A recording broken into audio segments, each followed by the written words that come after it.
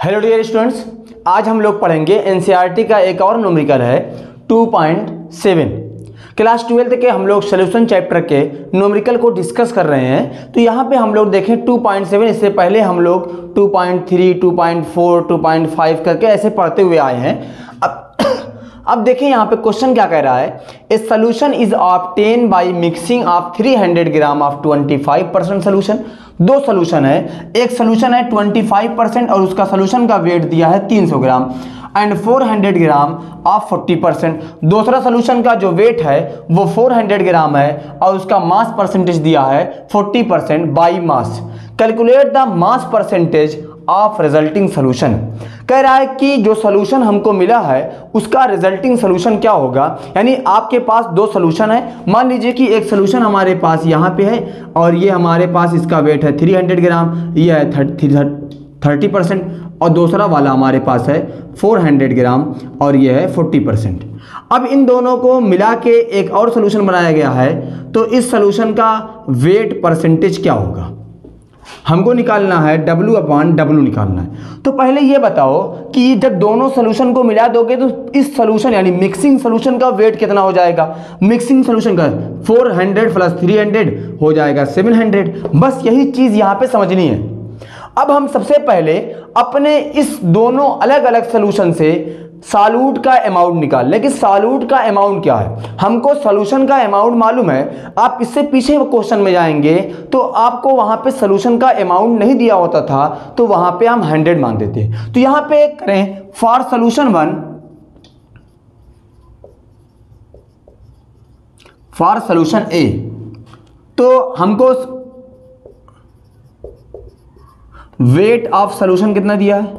Wait of solution हमको दिया है 300 ग्राम और W अपॉन डब्लू कितना दिया हमको? 30 परसेंट ये तो क्वेश्चन में मेंशन है तो हमको वेट ऑफ़ सॉल्यूट निकाल लें। वेट ऑफ़ सॉल्यूट हम लोग जानते हैं W अपॉन डब्लू होता है weight of solute divided by weight of solution multiply by hundred अब यहाँ पे देखो, यहाँ पे लिखा हुआ थर्टी यहाँ पर वेट लिखा है और यहाँ पे लिखा है, यहाँ पे वेट ऑफ़ सोल्यूशन कितना है? Three hundred gram. मल्टीप्लाई करें हंड्रेड से। कट गया, यहाँ मल्टीप्लाई तो कितना आएगा? Ninety gram. ये आ गया weight of solution sorry solute किसके लिए? सोल्यूशन ए के लिए। अब यहाँ पे दूसरा करें फॉर सोल्यूशन बी। दूसरा सोल्यूशन क्या है? वेट ऑफ़ सोल्यूशन कितना दिया हमको? दिया है 400 ग्राम और W अपॉन डब्लू इसका दिया हमको 40 परसेंट। तो वेट ऑफ़ सॉल्यूट निकाल ले। यही निकालना यही फार्मूले को फिर इस्तेमाल करते हैं। बहुत सिंपल सा टेक्निक है। तो W upon W is equal to weight of solute upon weight of solution अब यहाँ पे W अपॉन डब्लू की वैल्यू कितनी है? 40 यहाँ पे वेट यहाँ पे 400 मल्टीप्लाई बाई 1000 सॉरी 100 यहाँ पे मल्टीप्लाई करो, आ गया 160 ये आ गया सॉल्यूट का वेट अब हमको दो सॉल्यूट मिल गए हैं और दोनों पूरे सोल्यूशन को इसमें मिला दिया है। अब इस पूरे सोल्यूशन का वेट हो गया तो मिक्सिंग सोल्यूशन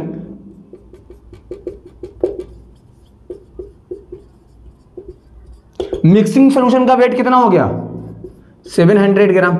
और मिक्सिंग सॉल्यूट कितना हो गया? सॉल्यूट कितना हो गया? 90 प्लस 160 क्योंकि हमने जब सोल्यूशन मिलाया है, पूरा सोल्यूशन मिला दिया है, मान लीजिए फॉर एग्जांपल इसमें शुगर का सोल्यूशन है और इसमें साल्ट का है, दोनों मिला दिए तो दोनों का सॉल्यूट अलग अलग होगा। अब सॉल्यूट को निकाल लिए, इसीलिए तो हम लोगों ने दो स्टेप फॉलो किया था। अब जब सॉल्यूट का वेट निकल गया तो आप इसको जोड़ दें, कितना आएगा? 250 सॉरी हाँ 250 आएगा। 160 प्लस 90 250 आ गया। आप जोड़ के ऐसे भी चेक कर लें। ज़ीरो, नौ छः पंद्रह टू फिफ्टी अब हमको निकालना है डब्ल्यू अपॉन डब्ल्यू तो यहाँ पे वेट ऑफ़ सॉल्यूट कितना हो गया टू फिफ्टी यहाँ पे सेवन हंड्रेड यहाँ पर मल्टीप्लाई करते हैं कट गया। अब यहाँ पे हम डिवाइड करें, कितना आएगा?